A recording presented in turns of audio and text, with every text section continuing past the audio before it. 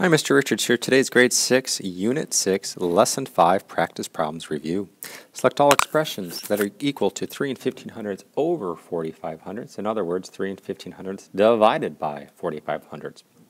It's not A, but it is B. It also is C. Now, 45 hundredths, hmm, that's the same thing as 0.45, right? 45 hundredths, so D works as well. Now, 3 uh, and 15 hundredths times 100 over 45, well, that's just taking d and multiplying by the reciprocal instead of dividing, so that works. But can we just flip it? 45 hundredths divided by 3 and 15 hundredths? No, that doesn't work. But B, C, D, and E do.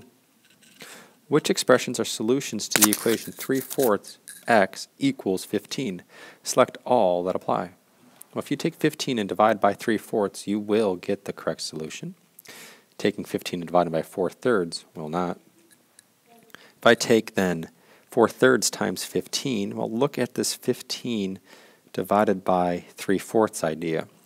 If you keep, change, flip, reciprocal, you'll get 4 thirds times 15, not 3 fourths times 15 and 15 divided by 3 fourths. I'm pretty sure I just wrote that out. So we're looking at A, C, and E. And now in question 3, we're looking to solve each equation. In A, we have 4 times x equals 32. If I simply divide by 4 on both sides here, you'll get x equals 8, which makes sense because 4 times 8 does equal 32. A little trickier though here in B. You have 4 equals 32 times x, but we're going to follow the same steps. We'll just divide by 32 on both sides here. Oh, look, I wrote division in a slightly different way, huh?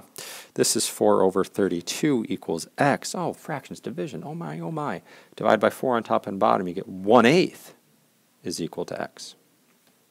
What about uh, 10x and c equals 26? Well, divide by 10 here. Wow, that's division. x equals 26 tenths, and if I simplify by dividing by 2 on top and bottom, I get 13 fifths, and I'm happy with that as an answer.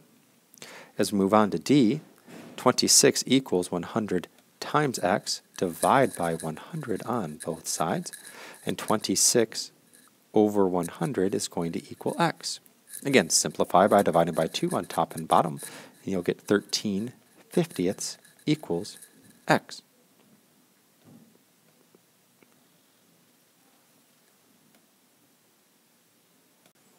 Moving on to question 4, for each equation, write a story problem represented by the equation. For each equation, state what quantity x represents. If you get stuck, consider drawing a diagram. We have 3 fourths plus x equals 2. In this question, I wrote John ran 3 fourths of a mile. Joey ran x miles together they ran two miles. And so if you're looking for what x represents, it's, well, the number of miles that Joey ran. What about 1 and 5 tenths, or 1 and a half, x equals 6? We could say that I, Mr. Richards, made one and a half batches of pancakes. I used 6 cups of flour. What does that mean x represents?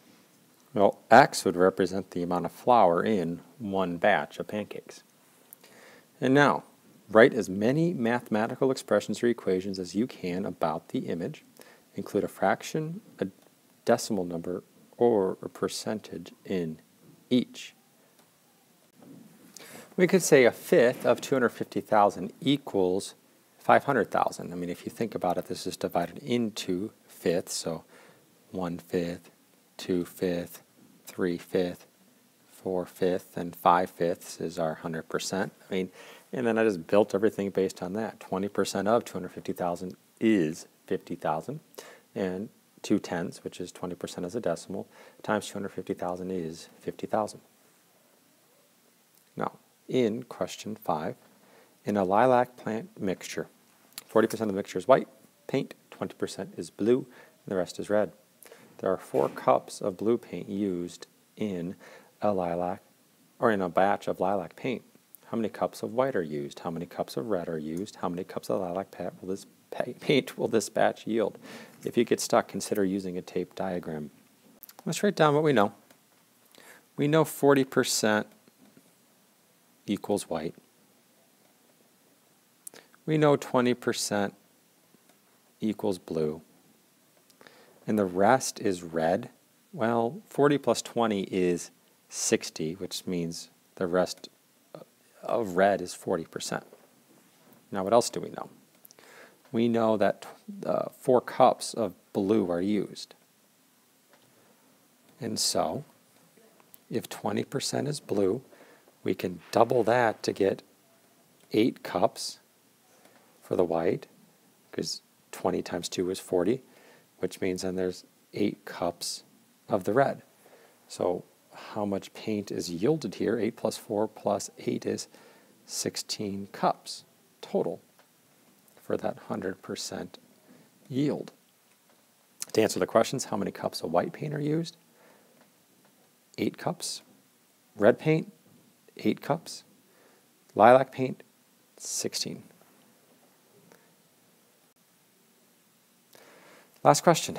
Triangle P has a base of 12 inches and a corresponding height of 8 inches. Triangle Q has a base of 15 inches and a corresponding height of 6.5 inches. Which triangle has a greater area? Show your reasoning. Well, area is equal to 1 half the base times the height. And so if we look at triangle P, area is equal to 1 half base times height. So 1 half times 12 times 8, which is going to be 48 square inches. If we look at Q, again, area equals 1 half base times height. So that means we're going to take a half of 15 and multiply it by 6.5. And a half. And when we do that, a half of 15 times 6.5 is going to be 48 and 75 hundredths square inches.